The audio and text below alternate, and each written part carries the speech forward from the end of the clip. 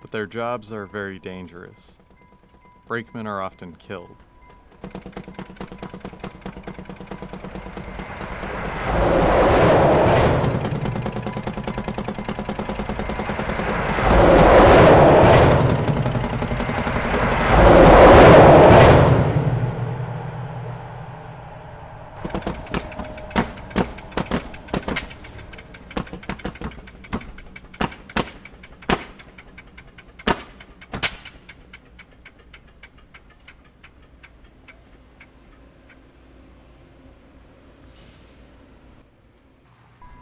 And Tex and Slim envy the locomotive engineers, who are much safer working at the front of the train.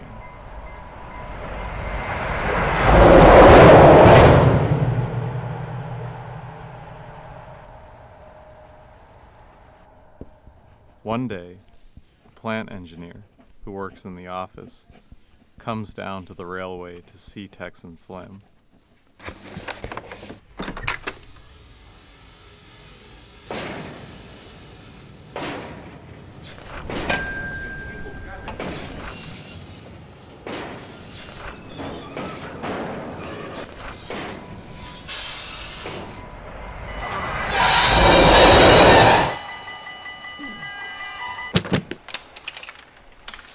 He offers them a chance to get a promotion, to be trained as locomotive engineers.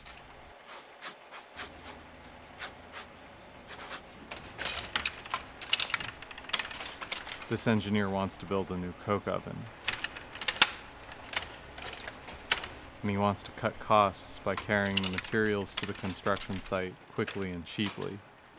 He only needs two brakemen to run the train of steel beams and channels over to the coke ovens in a single night, as fast as they can. At first, my great grandfather and his friend refuse because it's too dangerous.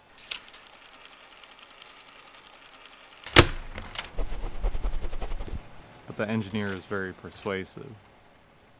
They might always be brakemen, always at the risk of being killed if they don't take this opportunity. So they accept.